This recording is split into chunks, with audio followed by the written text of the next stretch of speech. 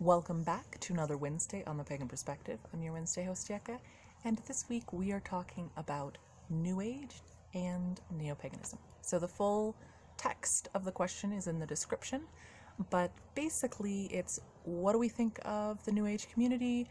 Um, saying that it's often lumped in with neo paganism. What are the similarities and what are the differences? So, I found this to be a little bit of a tricky topic because both terms are very large umbrellas that include a lot of different groups, and there isn't a really clear, solid definition of what is New Age and what is pagan. And by the way, um, neo pagan is new pagan, so basically modern incarnations of paganism. Um, and New Age, the what we t- often think of as being New Age came about in the 60s and 70s, even though that um, it has roots and threads from previous time periods.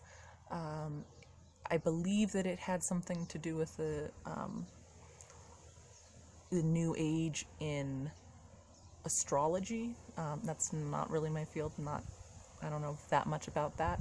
Um, but that that's where that term was coming from, or like a new age for humanity. So, thinking about it, reflecting on how I hear those terms used and what my understanding of them is, I was able to come to the idea that I think New Age is a culture or a subculture in Western civilization, and pagan and paganism is actually a religion. Now, there's a lot of overlap between those. Um, religion can certainly be a very important aspect and part of culture, and culture can really inform one's understanding and expression of religion. But there's a lot of there are a lot of people who are very new age who are from who are Christian, who are Buddhists, who are atheists, who are pagans, who are all of these different things, but their expression of their religion, their expression of excuse me, there's all kinds of little no-see-ums under here, but it's way too hot to be out in the sun. Um, please don't get in my eye.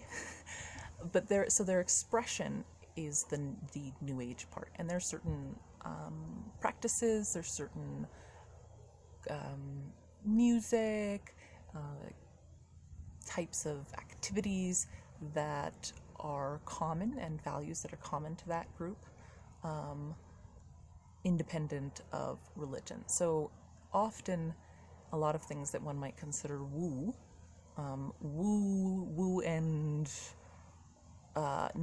Are not are the Venn diagram of them are, are very very overlapping. Um, some people even use those terms interchangeably, but that doesn't mean that. I'm sorry, these guys are getting in my eyes. Um, and there's a lot of, of pagans who practice many of those things. And I think there's a tremendous overlap between those two communities. But one doesn't have to be, I don't think that all neo pagans, excuse me, are new age.